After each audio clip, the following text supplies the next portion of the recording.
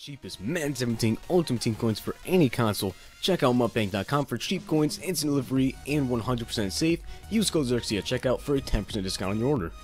The whole thing wobbin', wop, wop, wobbin', wop, wop, wobbin'. When I come around, got the whole thing wobbin', wop, wop, wobbin'. What is going on guys? It is Xerxium today with another YouTube video and today I am going to be telling you guys who I think you should choose for your GOAT player and also for your elite player and let me just get right into this. So, the five GOAT players you have from choosing from are Brady, Deion Sanders, Jerry Rice, Barry Sanders, and Ray Lewis. Now I'm going to explain to you why you do not want to go with either Brady or Ray Lewis right off the bat. So those two, first off it's Brady.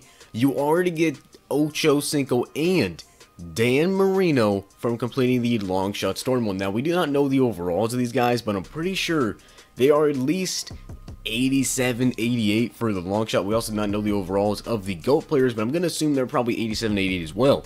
So, if you already have Marino, you don't need Brady because they're both pocket passer quarterbacks. And honestly, this year I wouldn't recommend starting off with a not mobile quarterback at all. They're basically both statue quarterbacks. Just going to sit in the pocket and throw dots, but they will not be able to run at all. So that's why you don't want to go with Brady because you already get Marino, who would be basically the same as Brady.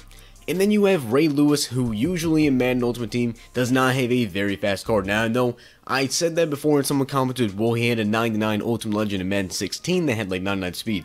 Yeah, a 99 overall card had 99 speed. It's going to be like an 88 overall, and you guys know how speed is this year. He's probably going to have 81, 82 speed, not fast enough, and they also said that using middle linebackers is going to be a little bit harder this year. You're going to need somebody that's faster, somebody that's more agile, like a Shazier, a Bobby Wagner, someone like that if you'd like to use your middle linebacker. So Ray Lewis, I don't recommend getting him either. We have Deion, Jerry Rice, and Barry Sanders. Now, in my opinion, you want to go with somebody that has depth at their position. Now, they did say you can take these GOAT players and you can also upgrade them. So if you already get Ocho Cinco and you get Jerry Rice, if you're strictly, I mean, if you legit do not run the ball at all, what you could do is you could get Ocho Cinco from the long shot, you get Jerry Rice from your GOAT player, and then you get a free base lead as well for pre-running the game. Now, in my opinion, the best ones are Julio, Zeke, David Johnson, Antonio Brown, and Richard Sherman, and Xavier Rhodes. So if you go straight pass, if all you do is pass, like I'm telling, like you legit run the ball maybe two, three times a game, you should probably go with, you know, A Ocho Cinco from the long shot story mode.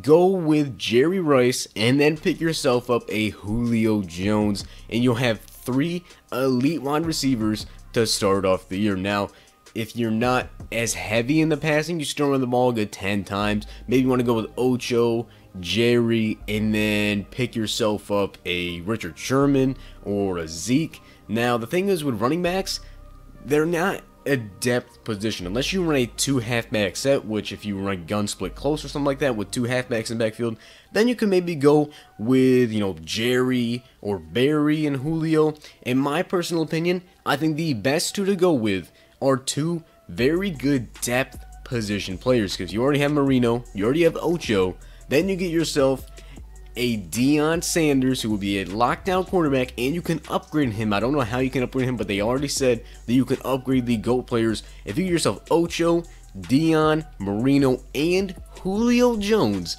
that is going to be insane. Then pick yourself up just someone good for the slot or even move Ocho in the slot. I think my, what I'm going to do is I'm going to get Deion, Ocho from the long shot, and then pick up Julio Jones for my base elite, and then for the running back position, I'm probably going to go out there and buy myself base elite Ezekiel Elliott instead of getting the free base elite that you get because that card's probably going to be like at 85, 86 is what I expect for these free base elites and then the GOAT player is probably like 87. You can go out and pick yourself up 88 overall Zeke or whatever overall he is.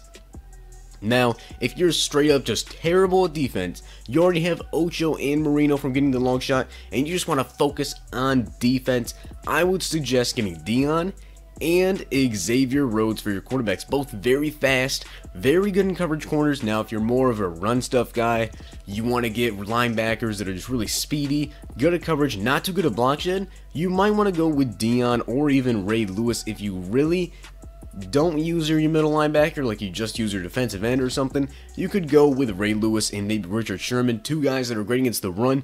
But those are my personal opinions and who you should get for your go players. I definitely suggest either Deion or Jerry Rice for the top two. Just something that has a depth position. Barry, yeah, he's going to be good for a little bit. You still have not seen his stats. You don't even know his overall. He might go out of style in about two weeks.